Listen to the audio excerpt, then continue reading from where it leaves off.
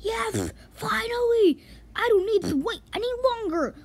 By the time they're done, I'm going to be buying that Game Pass, and I can be at them uh, how long I want.